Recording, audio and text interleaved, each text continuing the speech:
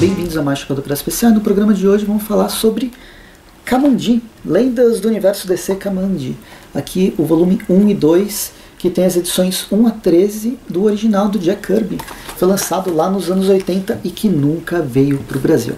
Pois é, esse, essa história do Kamandi, ela Bem, antes de tudo, é aquela coisa, o segredo que eu tenho, que não é um grande segredo, obviamente, mas o segredo que eu tenho para tudo que eu leio, tudo que eu assisto, é não criar expectativa. Tentar não criar expectativa, não ficar vendo o trailer a todo momento, eu nem assisto o trailer, mas ver o react do trailer, do teaser de não sei o que, que não dá em nada. Isso só ajuda a fomentar cada vez mais. Nossa, eu quero ver isso, quero ver aquilo, quero ver aquele outro e a nossa mente vai muito além do que qualquer coisa que um diretor possa fazer. E, principalmente várias mentes trabalhando juntas em prol de uma expectativa impossível. Então eu tento não criar expectativa de nada. Eu tento ir atrás daquilo que eu acho legal e vou lá, tento assistir com o mínimo possível de aviso prévio, por assim dizer. Mas tem coisas que não dá para fugir. E Kamandi foi uma delas, porque, bem, desde os anos 90, quando eu comecei a ler, eu a, a ler, a, a, colecionar quadrinhos, eu tenho a história do Kamandi como uma, um, uma lenda que existe um personagem no universo DC, de um universo ou de um futuro pós-apocalíptico, onde esse garoto ele está vivendo na, numa terra completamente destruída, baseada, obviamente, em Planeta dos Macacos. E, bem, eu tenho isso desde sempre, que eu vou acompanhando. Eu sabia que tinha sido lançado alguma coisa no Brasil, mas nunca fui atrás, porque eu sabia que era pouca coisa. Enfim, Kamandi ele foi criado pelo Jack Kirby em 72. Entre 72 e 78 foram lançadas 59 edições, sendo que 40 delas têm a mão do Jack Kirby e as três últimas, né, a 30, 38, 30, 39 e 40 não foi nem ele que escreveu. O, roteiro dessas três últimas edições é do Carrie Conway, e aí até 50, até 59, nas 19 edições seguintes, não fui atrás para ver quem, quem era exatamente. Mas enfim, essas 40 primeiras edições que vão ser publicadas aqui nesses volumes da Lendas do Universo DC, elas vieram para o Brasil apenas uma vez pela editora Ebal, que foi, ela ainda publicou o número 1 e os números os números super saltados entre o 48 e o 52 não, não me pergunte por que foi esse salto enorme mas enfim foi só isso que a editora Ebal publicou. A editora Ebal é redundância mas a Ebal publicou aqui no Brasil no, com o passar do tempo o Kamandi e bem o próprio personagem ele foi cancelado em 1978 não por baixas vendas mas porque a DC estava sofrendo por uma crise, foi o momento que ela foi vendida, inclusive. Já falei, já falei sobre esses problemas aqui no canal, mas que várias, vários títulos foram cancelados. Kamandi foi uma delas. E bem, o personagem, que não tinha quase nenhuma ligação com o universo DC, vai ter, acho que na edição número 19, 20 mais ou menos, ou seja, no próximo encadernado provavelmente eles vão encontrar uma roupa do Superman como sendo adorada mas não existe quase nenhuma relação com o universo DC. Ela se desenvolve de forma independente. E talvez por causa disso, ele foi sendo deixado de lado, ele foi deixado para escanteio. Até porque esse tipo de cenário, ele é muito dos anos 70, estava muito em profusão, valia, fazia muito sentido.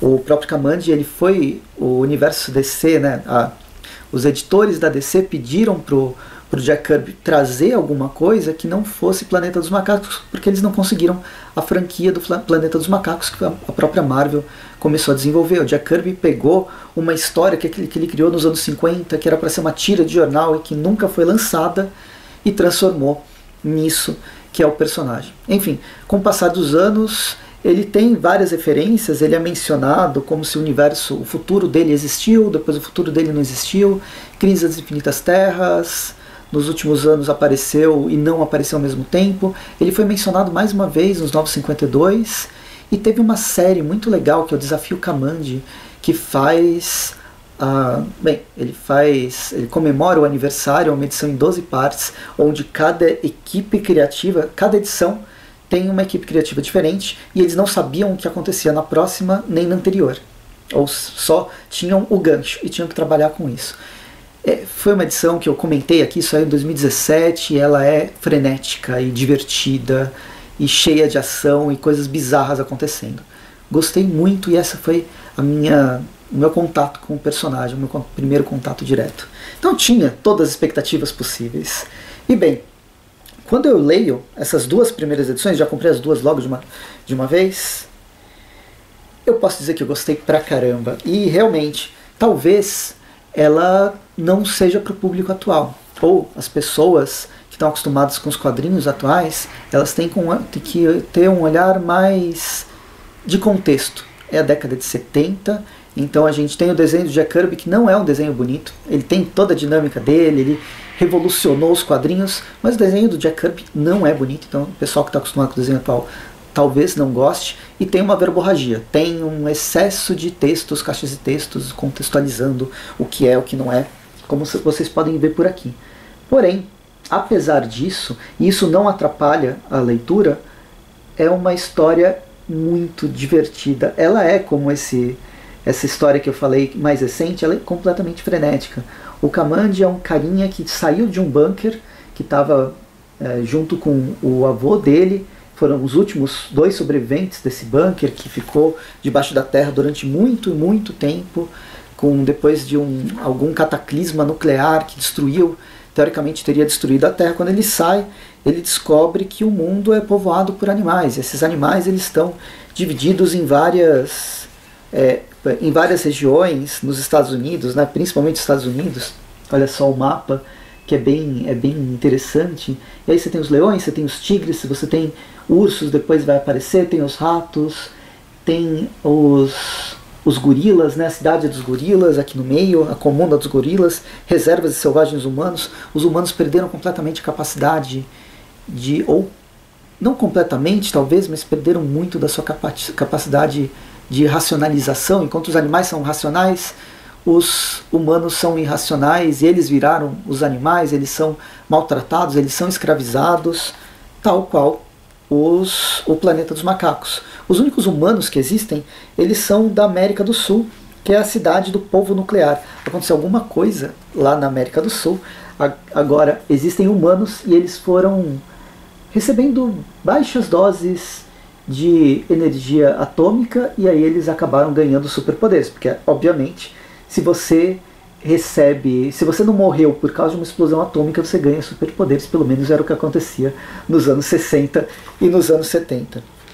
Enfim, nesse cenário todo, que é um cenário bem, bem divertido, bem interessante para um jogo de RPG perfeito e que lembra também alguma coisa, embora com animais, né, com animais antropomorfizados, lembra um pouco do Storm, que também é da mesma época, dos anos 70, esse mundo pós-apocalíptico, onde a sociedade está dividida, regrediu a, a, níveis, a níveis diferentes, e um personagem da nossa época começa a viver e se confrontar com essas, com essas questões. Enfim, olha só, eu achei bem interessante, ele funciona como uma. É, história de viagem. O Kamandi ele vai viajando de costa a costa nos Estados Unidos, vai e volta. A gente conhece os, essas várias espécies de animais e elas têm características específicas de acordo com mais ou menos o que a gente acha que são os tigres, que eles são perigosos, as cobras são traiçoeiras, os gorilas eles são mais parecidos com os humanos e querem fazer o domínio total. Se bem que os tigres também, eles são super territorialistas. Os leões, eles são mais nobres. E é, é nessa. Os ratos, eles estão caminhando pelos cantos e fazendo armadilhas.